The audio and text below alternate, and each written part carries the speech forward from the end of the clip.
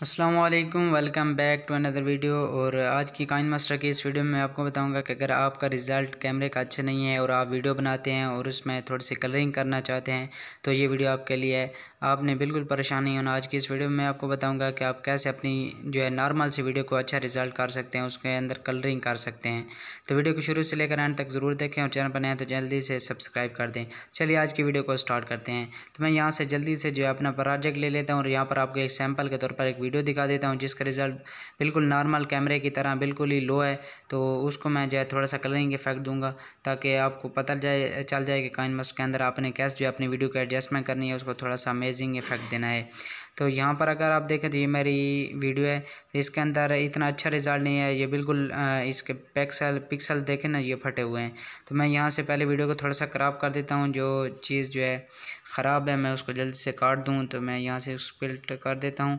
ये हमारी कुछ वीडियो इस तरह के बन चुके मैं आपको प्ले करके दिखा देता हूँ।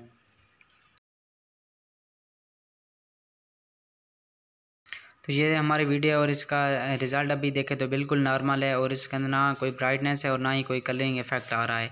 तो मैं जल्दी से इसको जो एडजस्टमेंट इसकी करता हूँ तो सबसे पहले आपको क्लिक के इस सबसे पहले आपको इसी क्लिप के ऊपर क्लिक करना पड़ेगा तो इस साइड पे आपको बहुत से फीचर नज़र आ रहे हैं तो यहाँ से आपने स्क्रॉल डाउन करना है। यहाँ पर आपको नज़र आ रहा होगा एडजस्टमेंट तो आपने सिंपली इसके ऊपर क्लिक करना है। तो अगर आपके वीडियो के अंदर इतनी ब्राइटनेस नहीं है तो यहाँ पर पहले नंबर पर आपको फीचर नज़र आ रहा है ब्राइटनेस का तो आपने ब्राइटनेस को बढ़ा देना है। अगर आपकी वीडियो के अंदर थोड़ा सा अंधेरा है तो ब्राइटनेस आपने ज़्यादा कर देनी है तो ये इतनी, ये दिन की वीडियो है तो इसके अंदर थोड़ी सी मुझे बढ़ानी पड़ेगी। उसके बाद आपको सेकंड में नज़र है कंट्रास्ट तो कंट्रास्ट को आपने कर देना है हंड्रेड।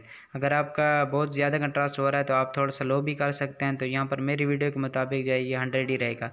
उसके बाद है सेचुरेशन सेचुरेशन सेचुरेशन से जो है ये वीडियो के अंदर जो है कलरिंग देता है। तो मैं यहाँ से इसको बिल्कुल हंड्रेड कर दूँगा। तो अभी आपको वीडियो दिखाता हूँ, देखें इसके अंदर जो है बहुत सी कलरिंग आ चुकी है। अगर आप चेक करें तो इससे का रिज़ल्ट जो है पहले से बेहतर हो चुका है। तो यहाँ से मैं दोबारा से इसको जो है चला देता हूँ। यहाँ देखें इसका रिज़ल्ट अभी चेक करें और मैं इसको जैसे ही कम करता हूँ, फिर देखें। ये नॉर्मल रिज़ल्ट है और जैसे ही मैं सेचुरेशन को बढ़ाता हूँ तो इसका रिज़ल्ट बहुत ही ज़्यादा अमेजिंग आ जाता है और उसकी कलरिंग हो जाती है। तो मैं इसको जल्दी से प्ले कर देता हूँ।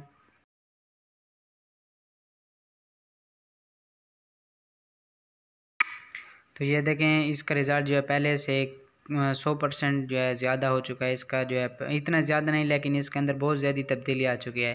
तो अगर आपके कैमरे का रिज़ल्ट इतना अच्छा नहीं है तो आप इस तरह जो है इसके एडजस्टमेंट करके वीडियो को थोड़ा सा बेहतर बना सकते हैं और बाद में अपलोड कर सकते हैं। तो वीडियो अच्छी लगे तो वीडियो को लाइक करना चैनल बनाए तो सब्सक्राइब करें